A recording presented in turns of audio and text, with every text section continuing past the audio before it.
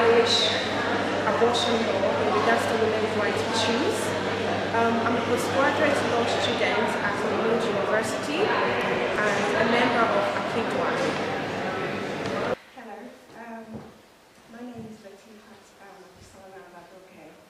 Um, I intend to discuss the, restric- the restrictiveness of Irish abortion law in regards to women's right to choose in Ireland. Um, Irish abortion law um, is restrictive in the sense that the law criminalizes women who chooses to uh, have abortion or any person involved in procuring abortion in Ireland. Now, between 1926 and 1974, at least 50, 58 prosecution took place under the um, 1861 Offence Against the Person Act, um, Section 58 and 59. Um, Nurse Cadden was one of the convicted uh, people under this act. Um, she was a um, she was a nurse, and you know this she was basically um, put in jail. And there's, there's a lost history and story about Nurse Cadden. Um, as part of this restric- restrict- restrictiveness, sorry, um, Anne Lovett, a 15 years old schoolgirl, was found dead on the street of County Longford. Sheila is another victim of this uh, restrictiveness.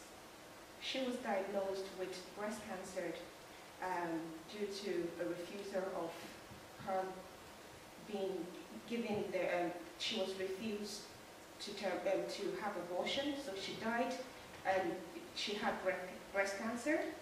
And two days after the prolonged delay, she did give birth to the, to, to the child, but then after giving birth, two days later she died, and this is in 1982.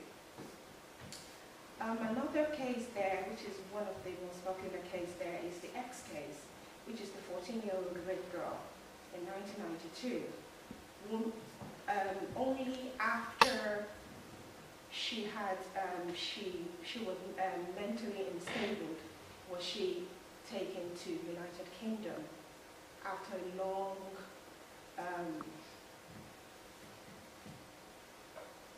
had you know she she was she had to be taken to UK for to get abortion done. Savita Halappanavar is a recent case, 2012.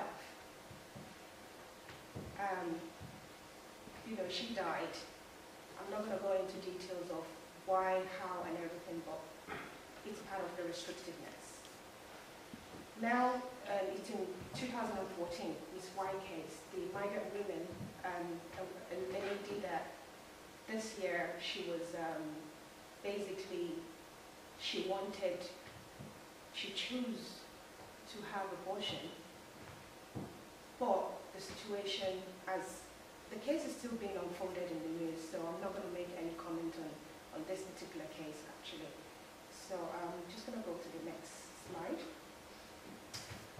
Idea for, ideas for change, basically to decriminalize abortion law.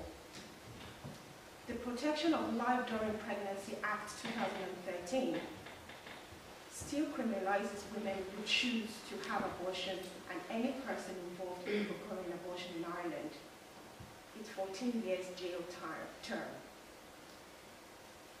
My conclusion here is um, just taking the Supreme Court Justice Walsh statement in his in a, in a, in a case, an Irish case, McGee versus Attorney General, 1974. It says there, according to the pre, um, preamble, the people gave themselves the Constitution to promote the common good with due observance of prudence, justice, and charity, so that the dignity of and freedom of the individual might be assured.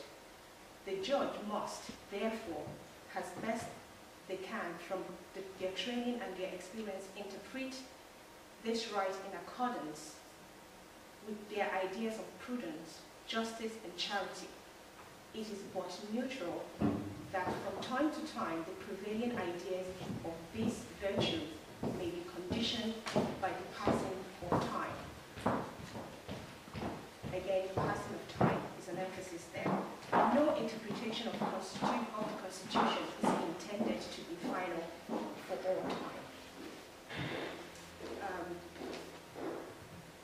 my, res- my conclusion here is that according to um, Dr. Ruth Fletcher, she point in her in her journal, she pointed out the rationale behind Irish legal stance on um, pro-life would be politically, you know, um, I don't want to mention any words here, but um, religious based. But I believe this is 2014.